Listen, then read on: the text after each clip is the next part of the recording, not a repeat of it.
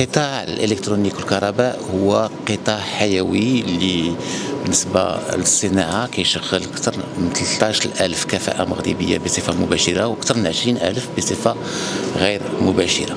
هو قطاع عنده إقبال كبير من طرف الزبناء لا وطنيا لا دوليا كنصدروا أكثر من 20 مليار ديال الدرهم من هذا القطاع سنويا.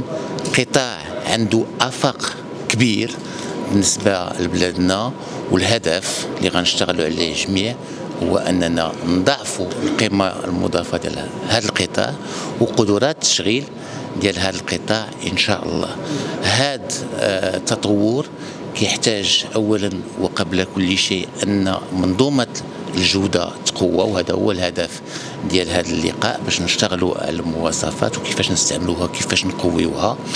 وثانيا باش نشوفوا الآفاق والإمكانيات والأسواق اللي يمكننا نمشيو فيها باش نوصلوا للهدف المبتغى طبقا للتوجيهات الملكية السامية. Donc nous organisons aujourd'hui en présence de monsieur le ministre Mzour la première euh, journée Fenelec Meeting Days.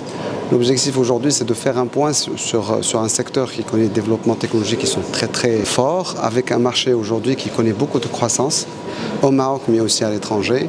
Le Maroc a clairement des atouts, euh, notamment un accès aujourd'hui euh, au marché africain et aussi de l'expertise dans le domaine du, renouvelable.